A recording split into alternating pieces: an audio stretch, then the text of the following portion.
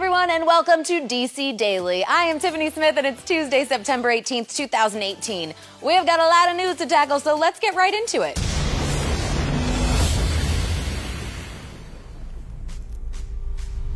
DC announced yesterday that principal photography has begun on the new Joker film, starring Joaquin Phoenix. The announcement also confirms that Robert De Niro will be co starring in the movie. Other cast members include Zazie Beetz, Frances Conroy, and Marc Maron. Joker promises a gritty character study of Arthur Fleck, the man who later becomes the Clown Prince of Crime. The film is directed, produced, and co written by Todd Phillips and is set to be released on October 4th, 2019. Next up, we've got the Scribblenauts Mega Packs dropping today for Xbox One, PS4, and Nintendo Switch. This two pack of games features Scribblenauts Unlimited and Scribblenauts Unmasked, a DC Comics adventure. This marks the first appearance of Scribblenauts on current gen consoles. Players control Maxwell, whose magical notebook conjures his scribbles into real world items for him to interact with. In Scribblenauts Unmasked, your DC Comics knowledge can pay off big time. Maxwell can create items like Batarangs or Green Lantern power rings, or even call forth his own personal Justice League with dozens of variations at his disposal. Next, get ready to grab your kicks and maybe even your lasso of truth. This fall marks the inaugural Wonder Woman run starting in California. From Sacramento to San Diego between September and November, DC will host 5 and 10K races to help fans embrace their inner superhero and superheroine. Both men and women are invited to enter the run that celebrates the Amazon's greatest warrior with awards for the top runners. Now it's time for our comic spotlight, starting with Green Lanterns number 55. The cyborg Superman Hank Henshaw has found a way to hack into the Green Lantern Corps' power rings. And if Hal Jordan doesn't find a way to stop him, Henshaw could conquer the entire universe. In Aquaman number 40, we see the conclusion to the four part Sink Atlantis story arc that features a crossover with the Suicide Squad. The squad, Aquaman, and the newly crowned Queen Mera all collide in this epic confrontation under the sea. And lastly, we look at Batman number 55. Tom King's prolific run continues as he reveals that the KGBeast is alive. After his fate was left uncertain during his previous confrontation with Batman, the Beast returns and seems to have something to do with Mr. Freeze's recent court case, a mystery that only the world's greatest detective can solve.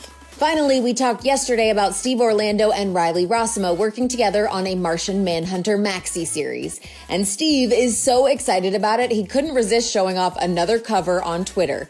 Steve tweeted, Hmm, they said I could show another Martian Manhunter cover. How about this gorgeous take by Riley Rossmo? We're coming in December, folks, from DC Comics with Ivan Plascencia and Deron Bennett, not to mention Chris Conroy and Dave Wielgosz. How awesome is it that they got the whole team in there? He shouted out his colorist, letterer, and editor too.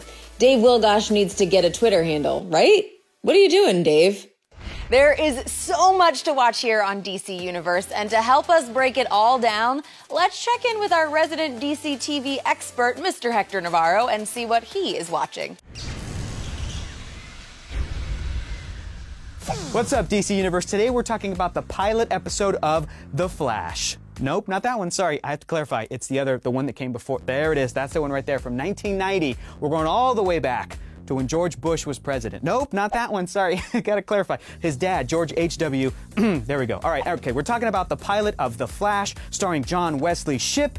And this pilot was kind of like a made for TV movie. It's about an hour and a half of all flashy goodness. It is fantastic. John Wesley Shipp plays such a great Barry Allen. The theme was by Danny Elfman. The music for the show was by DC legend Shirley Walker. Love the music, love the score. A lot of stuff to look out for. Look out for Iris West. Look out for Linda Park. Look out for one of my favorite characters, Julio Mendez, played by one of my favorite actors, Alex Désert. I really love The Flash, 1990. The very last scene is really, really touching between Barry Allen and his nephew. I still remember it from when I was a kid, and I watched the show with my dad. So, guys, the very first episode, the pilot of The Flash from 1990, is on DC Universe right now, so go check it out. Thank you so much, Hector. You always know what we should be watching, giving us all the good gossip. That is it for the news today, but now let's check out our second part of our three part documentary series where we look back on the legendary career of George Perez. Crisis on Infinite Earths is the single biggest turning point in the history of DC Comics. The story echoed through every corner of the DC universe, and no comic book artist could illustrate an event of that magnitude better than George Perez. Coming up with Crisis on Infinite Earths, the company had already decided with all these multiple Earths that DC had that maybe it was becoming a little difficult for a new reader to come in and get involved in any of the current storylines when they have to try to figure out, well, why are there two Supermen? Why are there two Batmen? You know, or, or wait, one, one Batman is dead. Who is this other Batman? You know, these type of confusing things. And as it turned out, it was coming out at a perfect time because it was the 50th anniversary of, of DC Comics. Said, let's do something really, really big. At that point, I wasn't involved. I found out about it, and I thought, you know, this book has my fingerprints on it before I ever touch it. I love drawing superheroes. I love drawing as many superheroes as I, as I can. I, made most of my career from doing team books. So the idea of being able to draw a book that could potentially have every single character DC Comics has created, even out of the superhero genre, oh, I can't turn this down. So I volunteered.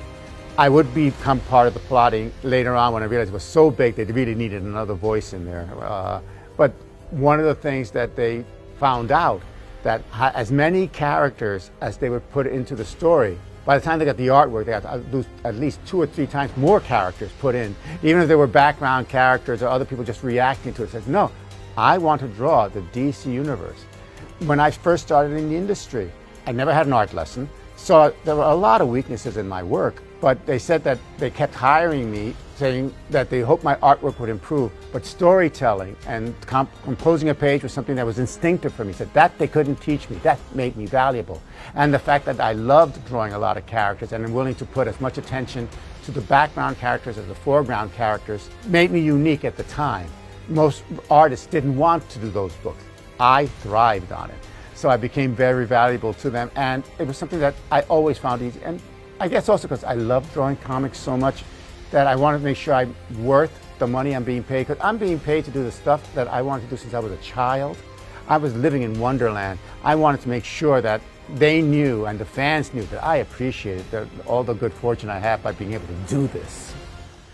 Uh, in the end, I believe I drew over 520 characters in that series because we did do a cover for a collection, penciled by me and painted by the great Alex Ross. And Alex asked me to draw everybody I drew in the book. And that's when I realized I drew over 520 characters because they all appeared on that cover. I take great, great pride in that. Uh, I would have drawn more if, if, we, if we had more room. And my one extra contribution to it was the title. When they were trying to figure out, you know, what, what we're going to call it, and obviously they were inspired by all the previous crossovers with the Justice League and the Justice Society and all the different Earths that led to coming up with this concept of trying to streamline it. Uh, and I said, well, like Crisis on Infinite Earths. And thus the title was born. Even if Crisis had, had uh, not succeeded, I would not be ashamed of what I've done. Uh, that I'd, I'd, be happy with my work. I'm grateful that it did do well. I'm grateful that it helped you know, uh, my career even further. But uh, for me, it was just playing in the world's greatest sandbox and, and getting a chance to draw all these wonderful characters in a story which uh, had one surprise after another. I mean, the death of Supergirl became uh, uh, the touchstone of, of, the series, one of the, uh, the, scenes that everyone remembers, even though the first death that was decided on conceptually was the death of the Flash, because he was the first character of the new Silver Age. So uh, the fact that his death had to follow Supergirl's, okay, we kind of blunted his death a bit because we made such a big impact with that, the Supergirl. But again, it was a little bit one surprise after another. And of course, by killing off Supergirl, they said, okay, now no one is safe. Um, but it was a fanboy dream for me. I really, really just wanted to be able to draw all these characters, some of whom I would never get the opportunity to draw in a regular story. So this was a dream come true. And to this day, you know, it's considered one of the highlights of my career. And also the maxi series by which all other maxi series are judged. So like, uh, and we created a new term. There was never a term, oh, the post-crisis or the pre-crisis. We are a, a, a benchmark to, uh, uh, comparing, you know, what used to be at DC and what ended up following at DC.